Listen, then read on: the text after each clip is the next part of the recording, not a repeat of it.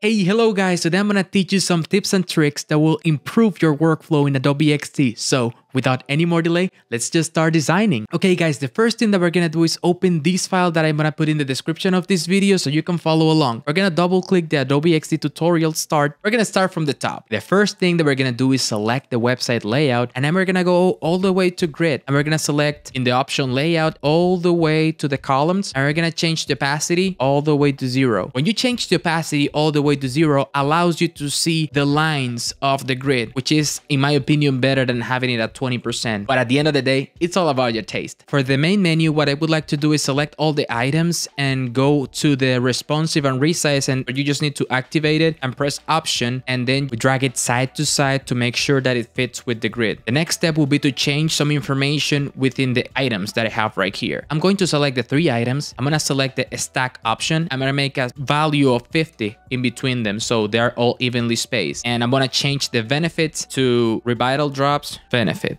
Okay, now in the right side of the menu, we're gonna do the same thing. We're gonna select the stacks and we're gonna change it to 50 right here. And I'm gonna select the cart I'm gonna double click it. I'm gonna change it to zero so people know when the cart is empty. And I'm gonna select the three items and drag them to the side so it matched to the entire grid. It's looking better already. Now let's go with the hero section. In Adobe XD, all the squares or shapes that you create within the program can be used as a clipping mask. So all we need to do is simply go to the documents that we have and select the hero image and just drag it on top. That will do the trick. We're gonna select in the border options and we're gonna eliminate the border in this specific image. We're gonna scroll down and we're gonna go with the products. In this product section, what we're gonna do is select the item right now and click here in repeat grid. We're gonna drag it all the way to the side. That'll look really good. One thing that I would like to do is change the product to a different product. I'm gonna go back to the folder and I'm gonna select the zinc drops. I'm gonna alternate them. Elderberry, zinc, elderberry, and zinc. Let's change the name of the products. We can change the names by hand, elderberry, but that's not really efficient. I have a trick for this. You can import any plain text documents to Adobe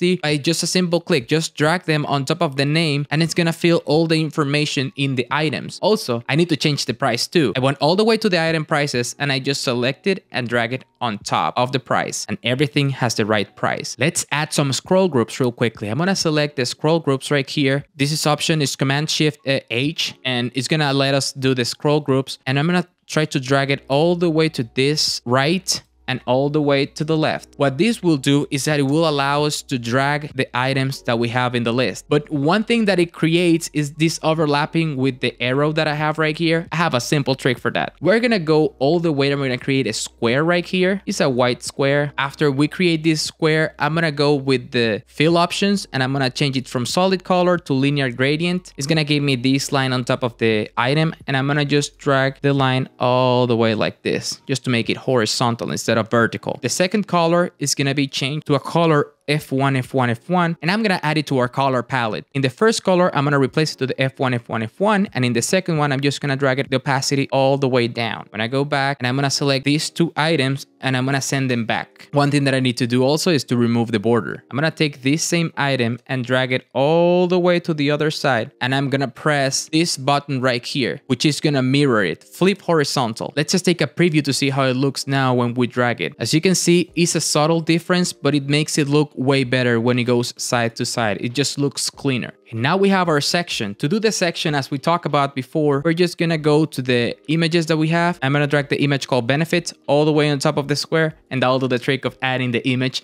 to our document. And uh, one thing that I would like to try to do is select these entire items that I have right here. I'm gonna go to the layers, which is command Y. It's called section two. I'm gonna create a bigger group, which is gonna be called main sections. Selecting this group, I'm gonna go all the way to stack and I'm gonna change it from horizontal to vertical. And I'm gonna select the section two, I'm gonna press command D, which is gonna make a copy of the section. This is really good because it will allow me to make a specific spacing in between those sections. Instead of 10, I'm just gonna change it all the way to zero. I'm gonna go to the second section that I have right here and I'm within that section. I'm gonna click the section two and I'm gonna activate stacks again with the space all the way to zero. I'm gonna double click in the section and I'm gonna drag the image to the side, which is gonna give me the opportunity of having it perfectly aligned. Okay, now that I have my two sections together, I need to change the image of the second one. I'm just gonna go back to the document and I'm gonna select the question mark. I'm gonna add it right here. And instead of saying Revital Drop benefits, let's put it uh, Revital Drop questions. I'm gonna take the entire footer section and I'm gonna drag it all the way up like this. And I select double click and select the artboard and drag it all the way to the top. And here we have our final website. It looks really, really good.